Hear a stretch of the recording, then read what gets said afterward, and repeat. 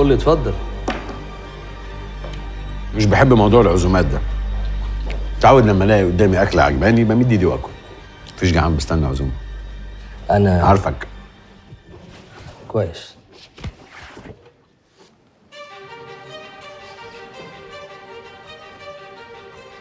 انبسطت قوي لما عرفت إنكم حبايب من زمان. مين ده؟ راجع حساباتك. ده اللي سرق المصنع بتاعك سنة 2013 آه ده كان تشكيل. كانوا بيسرقوا الحديد من المخازن عندي. هو ده بقى واحد منهم؟ آه. طب وإيه اللي جد؟ هو المفروض إنه في السجن ولا طلع؟ خرج من الدنيا كلها. عقبالنا. التشكيل ده سرق المصنع بتاعك أنت بس ما سرقش مصنع تاني. وده ممكن يكون واحد من المنافسين بتوعك في السوق. أو واحد ليه غرض إنه يأذيك أنت شخصيا. حضرتك من فترة رحت لخطيبتي وفتحت معاها مواضيع قديمة. وبعدها بشوية اتلفى لها قضية مخدرات. وديك أهو كملت مواضيع قديمة. فايه بقى؟ أحضر شنطتي ولا إيه؟ سعد اتقتل ومتورط في خطف هشام السيوفي. أخو رحيم شريكك. رحيم عمره ما كان شريكي هو مجرد معرفة قديمة. أنت هادي قوي كده ليه؟ رحيم من يوم ما خرج من السجن والدنيا مقلوبة. كل الشركاء بتوعه كاشين 26 مليار 148 مليون دولار. دي حجم الفلوس اللي طلعت من البلد. في الفترة اللي الراجل الكبير قام فيها من على السرير ومضى خطاب التنحي والمسؤول عن تهريب معظم الفلوس دي اللي انت قبضت عليه بنفسك علشان توقفوا نزيف الأموال. وإن شاء الله لما الظروف تتحسن هتحاولوا ترجعوها. برافو. مذاكر كويس. لا مذاكر ولا حاجة كله موجود على جوجل بس اللي يدور. واحد زي ده بقى متخيل إن أنا أخاف منه؟ النظام عايز حقه منه والناس في الشارع عايزة حقها منه. يحل مشاكله الأول. يعني انت عارف سبب كل المشاكل اللي حصلت دي؟ عارف الفار اللي مربوط في ديله كرة نار؟ كل ما يخاف يهرب منها ويجري تولع الدنيا أكتر. لا عارف يوقف الولعة ولا عارف يهرب منها. ده رحيم. مش خايف النار دي طولك؟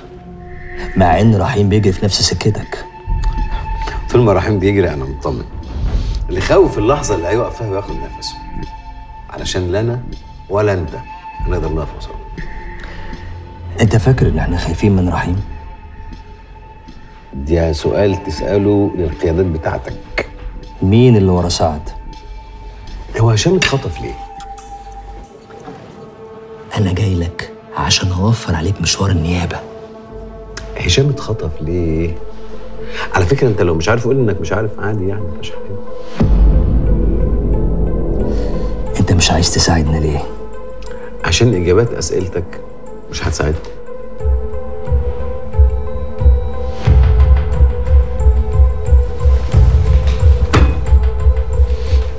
أحضر شنطتي؟ ليك عندنا هدوم كفاية. بس حسب اختيارك أنت بقى. أبيض ولا أزرق؟ المهم مبقاش أحمر. أنت ونصيبك بقى.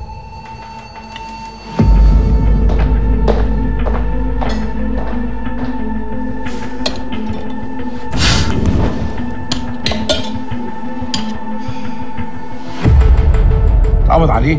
اتقبض عليه إزاي؟ البوليس جه خده هو وهشام. يعني إيه ياخد هو هشام مش هشام الزفت ده غايب ليه ست شهور ومحدش يعرف عنه حاجة؟ ما هو ملحقش. يا دوب رجع من هنا البوليس جه وقبض عليهم من هنا. قدر ولطف الحمد لله. سيد اوعى تكون انت ورا الموضوع ده. لا لا لا قدامه. ده من عند ربنا.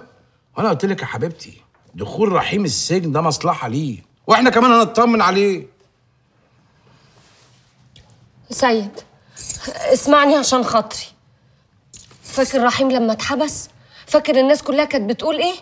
كانوا بيقولوا إنه عمره ما هيخرج تاني. بس حصل إيه؟ أهو خرج. وده بقى معناته إيه؟ إنه ممكن يخرج تاني بردك. وإحنا بقى المرة دي مش عارفين هو اتمسك في إيه هو وحلمي وهشام. إيه رأيك بقى تفتح صفحة جديدة؟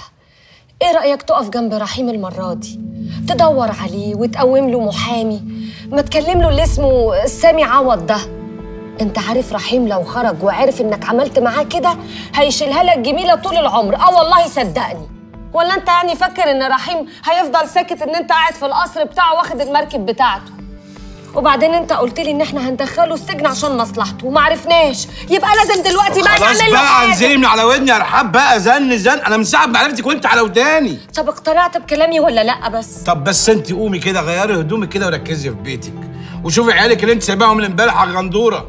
طب فهمني بس هتعمل إيه؟ أوه يا رحاب اتكلي على الله شوفي عيالك. بقى.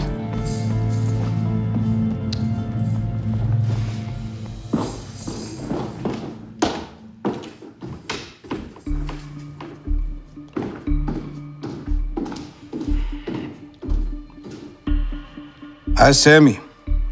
عرفت اللي حصل لرحيم؟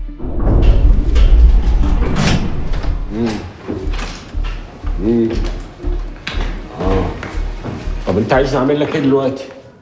امم امم حاضر حاضر. رحيم السيوف اتقبض عليه تاني. بركة يا جامع. حمار. ليه كده طيب؟ فهمني يا كبير. رحيم كان ممسوك على ذمة قضية. آه والقضية لسه شغالة. طب هم أفرجوا عنه ليه دلوقتي؟ آه. لا مش عارف. وهنفضل كده مش عارفين ونلف حوالين نفسنا لحد ما نعرف. امشي انت دلوقتي. حاضر.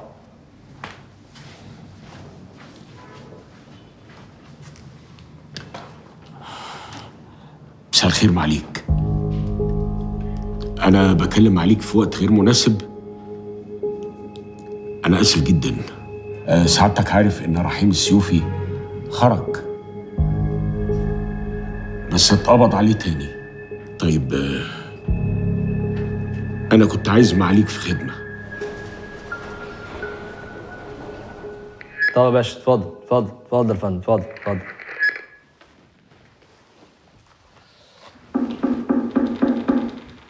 ادخل.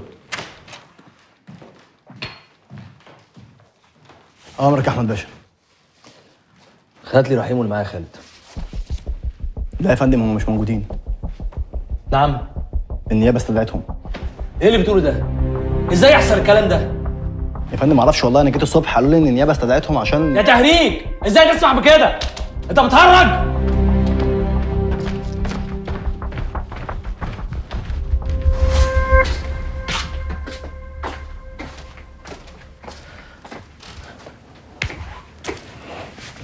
انت يا بنت ما لبستيش ليه؟ مش نازلة الجامعة. وماله الزعل بقى بالجامعة؟ بصيلي. فاكرة لما قلتيلي أنا مستعدة أستحمل أي حاجة عشان نخرج من هنا ونرجع زي زمان؟ أدينا بندفع الثمن ولسه ما نعرفش هندفع قد إيه. يا بنت بصيلي ارمي الزفت ده. عارفه أبوكي؟ ما بيحبش حد في الدنيا أكتر منك.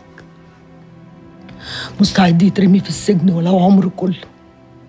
بس انتي ما تغيبيش يوم عن الجامعة. أنا هنزل خلاص. اوعي يا بنت تخافي على أبوكي. انتي ما تعرفيش ابوكي بره البيت ده عامل إزاي؟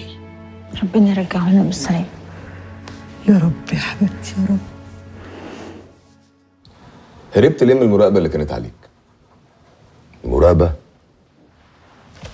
أنا أول مرة أعرف إن عليا مراقبة يا باشا. بعدين يعني المؤاخذة لو هما بيراقبوني ومش عارفين يراقبوني تبقى المشكلة عندهم هما مش عندنا. ما هي أقوالك في التهم المنسوبة إليك؟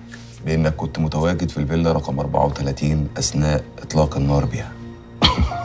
يا باشا أنا آخر مرة اتواجدت في حتة فيها ضرب نار كان يوم ما جه أحمد بيت دي بيقبض عليا. يوميها الستة كانوا رحت زقه من العربية هو فاكر كده كويس. دي كانت آخر مرة. قول لي بقى أنت آخر مرة شفت الراجل ده إمتى؟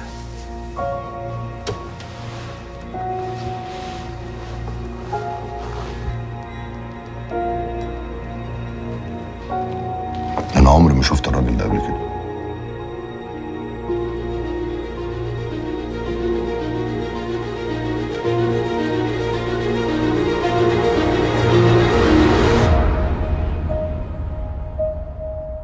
أنت آخر واحد كنت أتخيل ان أشوفه هنا. جراية رحيم بيه.